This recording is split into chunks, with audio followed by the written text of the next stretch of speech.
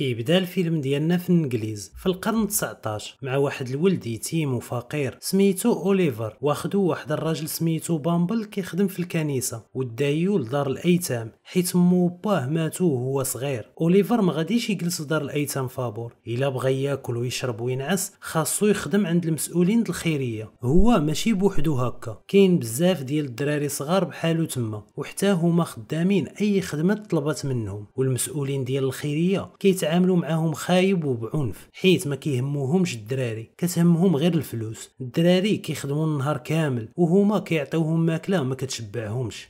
واحد من الدراري الصغار دار ليهم واحد القرعة بالخيوط واللي غادي يطلع فيه الخيط القصير هو اللي غادي يمشي ويقول ليهم راه الماكلة قليلة بزاف. بداو التحدي وأوليفر هو اللي جا فيه الخيط القصير. وفي وقت الغدا مشى أوليفر عند المسؤول وقال ليه فيا الجوع زيدني. المسؤول بغى يضربو ولكن أوليفر هرب ليه. مشى هذاك المسؤول عند الكبار ديال هاد الخيرية باش يقولها ليهم. وهما كانوا كياكلوا في طبلة عامرة ماكلة وقرروا يعاقبوا أوليفر على هاد الشيء اللي دار. وكان واحد خدام في تنظيف المداخن غادي في الطريق وشاف اعلان فيه دري للتبني بثمن رخيص بزاف. دخل هاد السيد للخيرية باش يشري أوليفر. فداوه عند القاضي باش يسجل العقد. القاضي شاف أوليفر وبقى فيه بزاف وحكم باش ما يتبناش ولكن المسؤولين كان عندهم رأي واحد آخر فخداوه لعند واحد كيصنع التوابيت ديال الموتى سميتو ساوربيري. أوليفر بكى ولكن تا حد ما تسوق له وفاش شافته مرت ساور قالت ليهم صغير بزاف. ودخلاتو عند الخدامة باش تعطيه ياكل من داكشي اللي شاط على الكلب ديالهم. وفاش بغى ينعس فرشات ليه في الأرض. حدا الصنادق اللي كيصوبوا أوليفر خاف بزاف ومشى كيجري ينعس. صباح الصباح وفاق أوليفر على الدقان في الباب. فاش حل لقاه ولد ساور اللي هضر معاه بأسلوب خايب. الخدامة عطات لأوليفر الماكلة وقالت ليه ياخدها بعيد وياكلها. وهو كياكل بقى ولدهم كيتنمر عليه حيت يتيم مسكين. ساور شاف كيفاش أوليفر كيخدم من نيتو ونشيط وظريف فبقى فيه وقال لمرتو تبدأ تعاملو مزيان ولكن ما قدرش يقنعها حيت كيخاف منها. وهي عصبية بزاف وخايبة الغد ليه وهما كيفطروا بدا ولدهم في التنمر عاوتاني وبدا كيعاير ليه مو اللي ميته. أوليفر تعصب بزاف وتلاح عليه وضربو. سمعات الأم الغوات وجات فكاتهم وحطاتو في واحد البيت صغير وعيطوا للمشرف ديال الخيرية. أوليفر ما خافش منه كاع وفاش جا صاور بدا كيهضر معاه وقال ليه باللي ولدك اللي غلط في ماما. ومراتو تعصبات وقالت لراجلها يضربو فبدا كيضرب فيه وهو حزين عليه. النهار الثاني أوليفر هرب من عندهم وبقى غادي في طريق طويلة بزاف وغير بوحدو. حتى قرب يوصل لمدينة لندن. عيا ونعس في القش وفاش كيجوع كياكل أي حاجة. حتى لقى واحد الدار دق عليهم باش يعطيوه شوية ديال الماكلة. ولكن مول الدار جرى عليه فهرب. وهو غادي تقطع عليه صباطو بكثرة المشي وبقى هكاك حتى طاح وسخف. لقاتو واحد المرا كبيرة في العمر وخداتو عندها وعطاتو ياكل وقال ليها باللي بغى يمشي للندن. عز عليها بزاف وخافت عليه من الطريق. ولكن أوليفر شكرها ومشى وصل لندن ونعس في واحد الشارع بكثرة العيا. فاش فاق كانت رجلو مجروحة وهنا جا عنده واحد الولد في نفس عمره اللي كان سميتو تشارلز. تعرفوا على بعضياتهم وبداو كيتمشاو. تشارلز سرق شوية ديال الخبز وعطاه لأوليفر باش ياكل. أوليفر عاود ليه على قصته وخداه معاه لدارهم فاش دخل لقى بزاف ديال الدراري الصغار بحالو كلهم أيتام. تشارلز عرف أوليفر على مول الدار فيغن اللي رحب به وعاملو زوين وجلسو ياكل مع الدراري. وهنا كنعرفو فيغن اللي خدمته هي يعلم الدراري الصغار السرقة في مقابل يعيشوا معاه في الدار. فيغن عطاه بلاصة في واحد البيت باش يولي ينعس فيها. في هاد البيت فين كيخبي فيغن المجوهرات الغالية اللي مسروقة وهو كيتفرج فيها. فاق أوليفر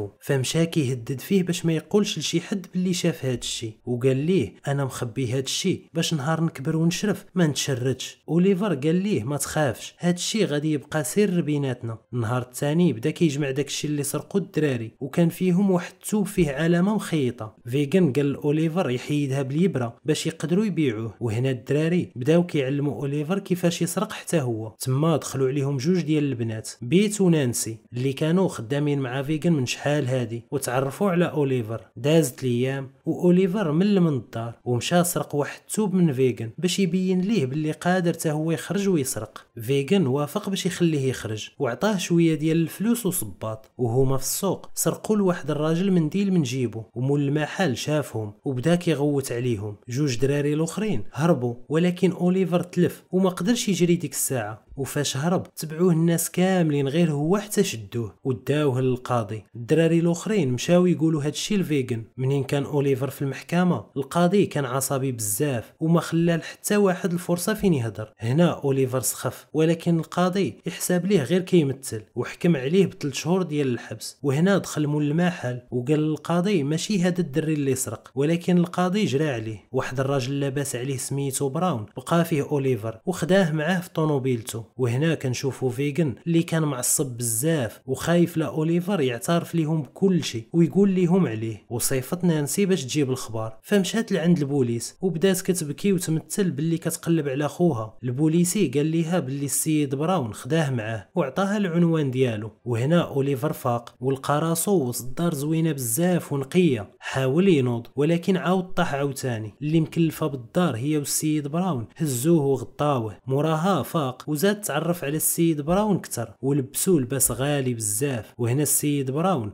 قال ليه واش تبغي تولي مؤلف كبير فاش تكبر؟ فجاوبو أوليفر باللي كيفضل يبيع الكتوبة. هنا السيد براون عرفو كيبغي التجارة بزاف. في هذا الوقت كان بيل ونانسي حاضين الدار ديال براون. براون سخر أوليفر باش يشري شي كتوبة. وصاحب براون قال ليه باللي غادي غير يهرب ليه بالفلوس وما يرجعش. أوليفر وهو غادي في السوق. شداتو نانسي. وبدات كتقول وسط الناس. وأخيرا لقيت خويا. أوليفر كيغوت وكيقول ليهم باللي راها غير كدابة هنا جا بيل. وبدا كيمثل عليهم حتى هو. وبدا كيقول خليتي أمك مسكينة خايفة عليك. وهكا حتى قدروا ياخذوه وداوه عند فيغن. وغير دخلوا بداو كيضحكوا على حوايجو. بيل سرق ليه الفلوس. وهنا أوليفر خاف بزاف للسيد براون يحسبوا باللي هرب ليه بالفلوس. وحاول يهرب من الدار. فخرج. ونانسي سدات الباب على بيل. حيت كان غادي يحرش الكلب ديالو على أوليفر. ولكن بيل ضربها. وخرج. وفي الأخير قدروا يشدوا أوليفر. ورجعوه للدار. فيغن كان غادي يضربو. ولكن نانسي ما خلاتوش. والدراري خداو ليه اللباس ديالو الغالي. ولبسوه اللباس ديالهم. ومن بعد سدوا عليه في واحد البيت. الغد ليه جاب ليه فيغن الفطور. وبدا